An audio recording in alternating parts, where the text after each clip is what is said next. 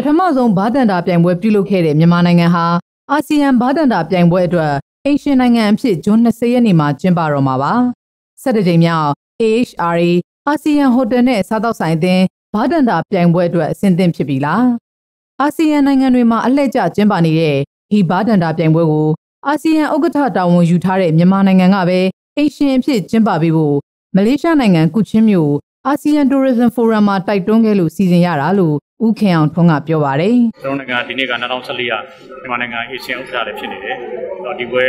ကလည်း2004ခုနှစ်တည်းကသူတို့နှစ်စဉ်ကျင်းပခဲ့တာ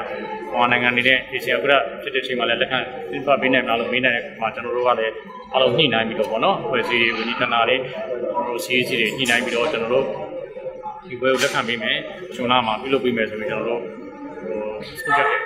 ကန်တော်ကြီးဒေါ်ဖင်စားတောက်ဆိုင်မှာဂျွန်16ရက်နေ့က မီဒီယာတွေကိုဘာဒန်တာချန်ပီယံရှစ်2014အကြောင်းရှင်းလင်းပြောဆိုခဲ့ပြီးစပွန်ဆာတွေနဲ့လက်မှတ်ထိုးခဲ့ကြပါတယ်။ဘာဒန်နာတွေဟာအယက်သမားတွေမဟုတ်ဘူး။တီထွင်ဖန်တီးတဲ့နည်းပညာလို့မြင်ကြဖို့နဲ့ကဘာကိုရင်ပေါင်တန်းနိုင်အောင်အားပေးကြဖို့မက်ဇာလီမော်ဦးကတိုက်တွန်းခဲ့ပါတယ်။ဘာတန်တိုင်းလည်းအရသမားမဟုတ်ဘူးရသမားတိုင်းကလည်းဘာတန်တာမဟုတ်ဘူးပေါ့နော်အဲ့တော့ဒီ hot case ဆိုတဲ့ဟာကိုဤပညာရဲ့တစ်ခုအနေနဲ့မြင်ပြီးတော့ပဲ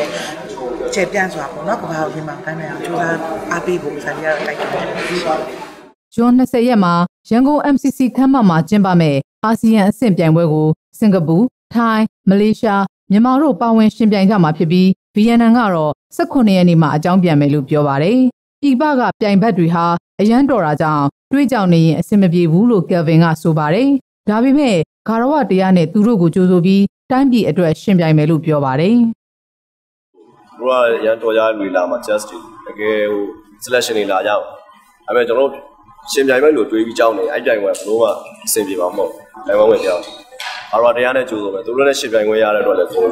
အဲ့ကြောင့်သူတို့တက်တယ်လို့ပဲကူလည်းလုံးနိုင်အောင်။ကိုယ်နိုင်ငံကတစ်ဖက်လမ်းကနေထောက်ပတ်ပေးနိုင်အောင်အဲ့စိတ်ဓာတ်နဲ့